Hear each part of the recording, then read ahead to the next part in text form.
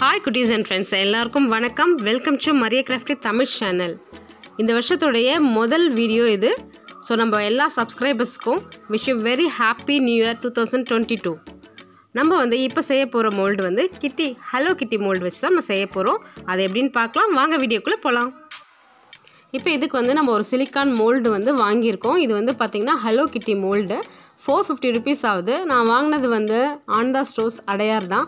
ஏற்கனவே வந்து நம்ம அந்த ஸ்டோர்ஸை பற்றி நம்ம வீடியோ போட்டிருக்கேன். பார்க்காதவங்க பாருங்கள் அந்த வீடியோட ஹெட்டிங் வந்து பார்த்திங்கன்னா best store for resin and art அப்படின்னு சொல்லி வரும். ஸோ இந்த வீடியோவில் நம்ம வந்து இது ஆனந்தா ஸ்டோர்ஸ் பற்றி எல்லாமே டீட்டெயிலாக கொடுத்துருக்கோம். ஸோ அந்த கடையில் தான் நான் வாங்கியிருந்தேன். இந்த மோல்டு பாருங்கள் நம்ம ஓப்பன் பண்ணுறோம் கவரு இதில் வந்து ரெண்டு மோல்டாக அவங்க கொடுத்துருக்காங்க. இந்த ஹலோ கிட்டி மோல்டு ஒன்றும் ப்ளஸ் ஒன்று வந்து பார்த்திங்கன்னா ஸ்டாண்டு ஸோ ரெண்டு மோல்டும் கொடுத்துருக்காங்க. இது வந்து ஒரு மொபைல் ஸ்டாண்ட் இது. நம்ம மொபைல் ஸ்டாண்ட் செய்கிறதுக்கான மோல்டு தான் இது.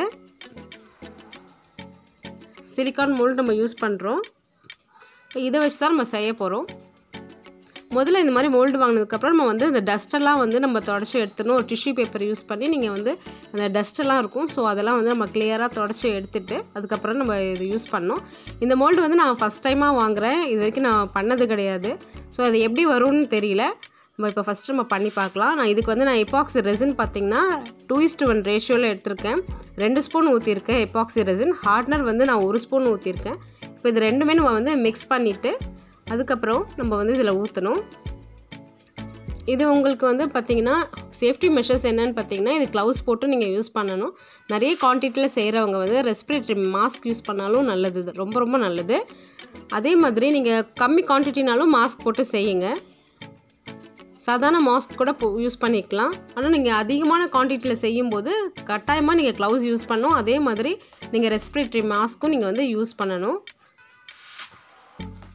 அதே மாதிரி உங்கள் கையில் ஏதாவது பட்டுடுச்சு அப்படின்னா கூட நீங்கள் எல்லாம் இப்போ நீங்கள் பண்ணி முடிச்சதுக்கப்புறம் கையில் இருந்தது அப்படி பண்ணி இருந்ததுன்னா நல்லா வாஷ் பண்ணிவிட்டு நீங்கள் வந்து தேங்காய் எண்ணெய் அப்ளை பண்ணிவிடுங்க அப்போ உங்கள் ஸ்கின்க்கு எந்த பிரச்சனையும் வராது. இப்போ இதில் நான் வந்து பார்த்திங்கன்னா எல்லோ கலர் மிக்ஸ் பண்ணியிருக்கேன். அதே மாதிரி கிளிட்டர் வந்து நான் மல்டி கலர் யூஸ் பண்ணியிருக்கேன். கொஞ்சம் அப்போ தான் வந்து எல்லா கலர்ஸும் வந்து அந்த நல்லா பளிச்சுன்னு தெரியும். ஸோ அதுக்காக நான் மல்டி கலர் யூஸ் பண்ணியிருக்கேன் கிளிட்டர்ஸு இது ரெண்டுத்தையுமே நம்ம சேர்த்து இதில் மிக்ஸ் பண்ணணும். அதே மாதிரி அவங்கவுங்க பாட்டிலில் என்ன ரேஷியோ கொடுத்துருக்கோ அந்த ரேஷியோவில் வந்து நம்ம மிக்ஸ் பண்ணணும்.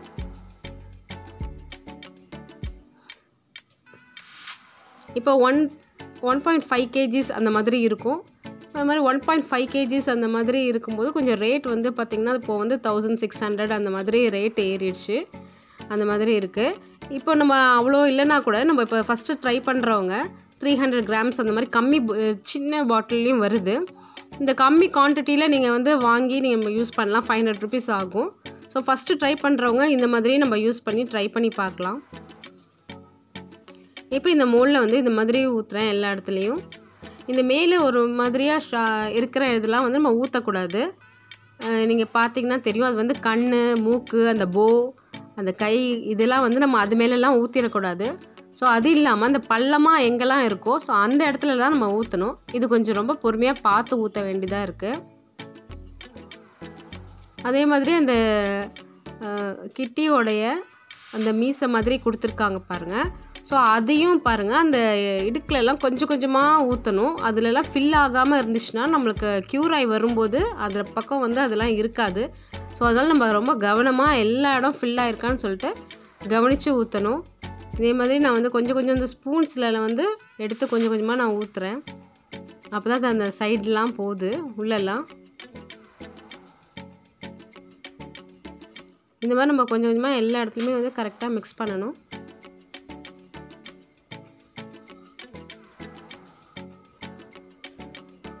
இப்போ நம்ம ஓரளவுக்கு ஃபுல்லாகவே ஃபில் பண்ணிட்டோம். கொஞ்சம் அந்த இடத்துல இல்லை பாருங்கள் இந்த மாதிரி இட இடையில வந்து நம்ம விட்டுறக்கூடாது. எல்லா இடத்துலையும் கரெக்டாக அப்ளை ஆயிருக்கான்னு ஃபுல்லாக நம்ம பார்க்கணும் தரவா. செக் பண்ணிவிட்டு தான் நம்ம வந்து நெக்ஸ்ட்டு வேலைக்கே போகணும். இப்போ வந்து அது க்யூர் அதுக்கு வச்சிடலாம். நெக்ஸ்ட் நான் அந்த ஸ்டாண்ட் வந்து யூஸ் பண்ணுறேன் அந்த ஸ்டாண்டில் வந்து நம்ம இதே மாதிரி இப்பாக்சி ரெசின் வந்து நான் ரெண்டு ஸ்பூன் எடுத்திருக்கேன். ஒரு ஸ்பூன் வந்து இது எடுத்திருக்கேன். இந்த பிளாஸ்டிக் ஸ்பூனில் தான்.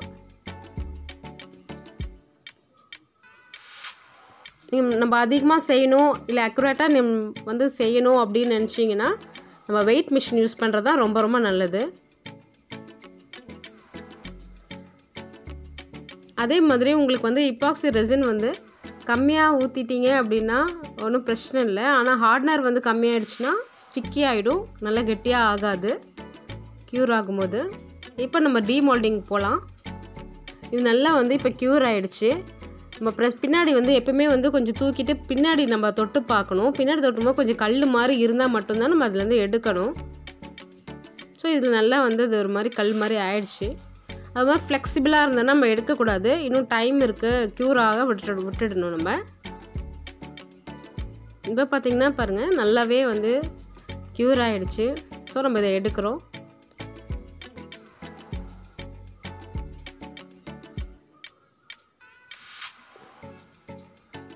இதை கொஞ்சம் கொஞ்சமாக பார்த்து எடுக்கணும்.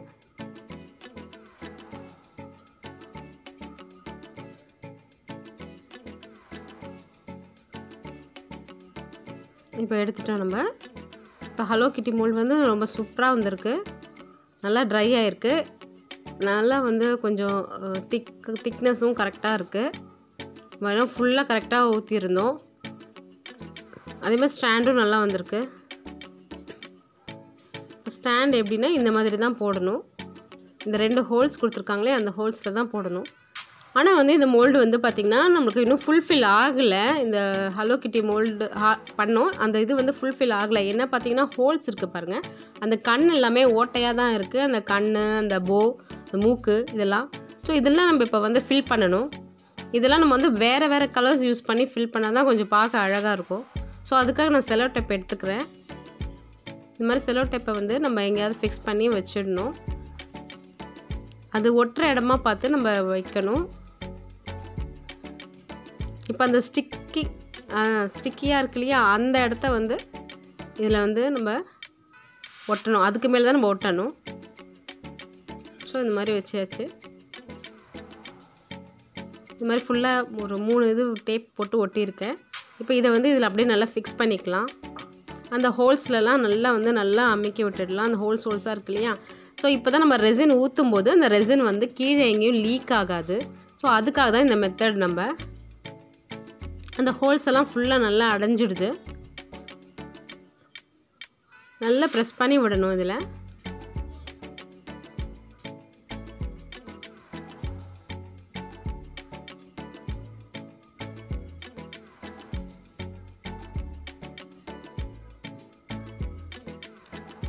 நல்லா ப்ரெஸ் பண்ணி விட்டுட்டோம். இப்படி நல்லா ப்ரெஸ் பண்ணலைன்னா அது லீக் ஆகிடும் ஸோ அதுக்காக தான் இப்போ வந்து நான் திருப்பி இதில் வந்து இப்பாக்சி ரெசின் எடுத்திருக்கேன். ப்ளஸ் ஹார்ட்னர் எடுத்திருக்கேன். இப்போ வந்து வந்து பார்த்திங்கன்னா நான் வந்து இதுக்கு வந்து பிளாக் எடுத்திருக்கிறேன். ரெசினோட பிளாக் கலர் வந்து மிக்ஸ் பண்ண போகிறேன் ரெசினும் ஹார்ட்னரும் நல்லா மிக்ஸ் பண்ணிவிட்டேன் அதில் வந்து கொஞ்சோண்டு ஒரு ட்ராப் எடுத்திருக்கேன். இந்த ஒரு ட்ராப் வச்சுட்டு நல்லா மிக்ஸ் பண்ணிக்க போகிறேன் ஏன்னா நம்ம வந்து இந்த கண் வந்து இது பண்ண போகிறோம் ஸோ இதுக்காக நான் ஐஸ்கிரீம் ஸ்டிக் வந்து எடுத்து இது நல்லா மிக்ஸ் பண்ணி விடுறேன். இந்த கலர் நல்லா பிளாக் நல்லா வந்துடுச்சு. இப்போ வந்து நம்ம அதை ஹோல்ஸில் வந்து ஊற்ற போகிறோம் இந்த கண் இருக்கிற ஹோல்ஸில் அதில் வந்து ஊற்றும் போது நம்ம மற்ற இடத்துலலாம் ஸ்ப்ரெட் ஆகிடுச்சு அப்படின்னா மொத்தமாக வந்து நம்ம வேலையே அவுட் ஆகிடும் சரியாக வராது. இவ்வளோ நேரம் கஷ்டப்பட்டதெல்லாம் வீணாகிடும் ஸோ அதனால் ரொம்ப பொறுமையாக நம்ம பார்த்து தான் ஊற்றணும் இப்போ ஒரு கண்ணில் மட்டும் ஊற்றிட்டு பார்க்குறேன் எப்படி வருதுன்னு சொல்லிட்டு. இதிலே பாருங்கள் ஒரு சொட்டு விழுந்துடுச்சு. எக்ஸ்ட்ராவா அதை நம்ம க்ளீன் பண்ணிட்டோம். நல்லா க்ளீன் பண்ணி தொடச்சாச்சு. இப்போ வந்து நான் வந்து இந்த போலையும் வந்து பிங்க் கலர் யூஸ் பண்ணி பிங்க் கலர் வந்து இந்த போலெல்லாம் பிங்க் ஊற்றிட்டேன் இந்த கண்ணில் வந்து பிளாக் ஊற்றிட்டேன் நெக்ஸ்ட்டு வந்து பார்த்திங்கன்னா அந்த கண்ணை மட்டும் கொஞ்சம் நல்லா தொடச்சி விட்டுட்டேன். இந்த இதில் வந்து பார்த்திங்கன்னா ரெட் கலர் வந்து ஊற்றிருக்கேன்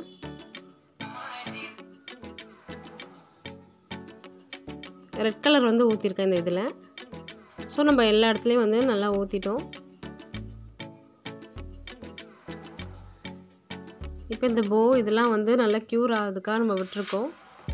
அந்த கண்ணு தான் ஒரு இந்த ஒரு கண் வந்து கொஞ்சம் ப்ராப்ளம் ஆயிடுச்சு. ஸோ அதனால் அதை வந்து நம்ம கிளியர் பண்ணிவிட்டு நல்லா க்ளீன் பண்ணிவிட்டு அதுக்கப்புறமா நம்ம ஊற்றிருக்கோம் ஸோ இந்த பிங்க்கையும் மிக்ஸ் பண்ணியிருக்கேன்.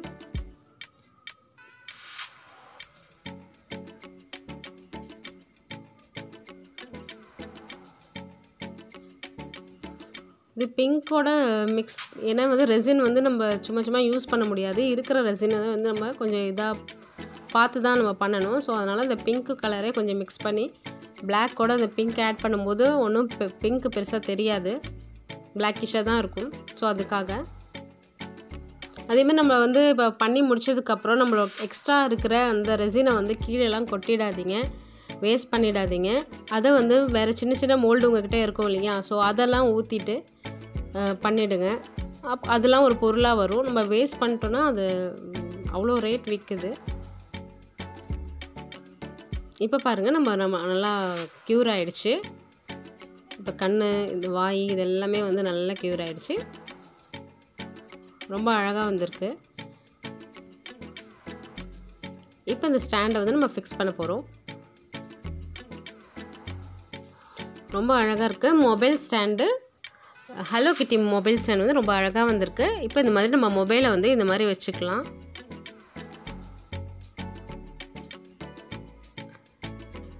இதே வந்து நம்ம ஒரு பிஸ்னஸாக எடுத்து செய்யலாம். இந்த மாதிரி நம்ம சேல்ஸும் பண்ணலாம்.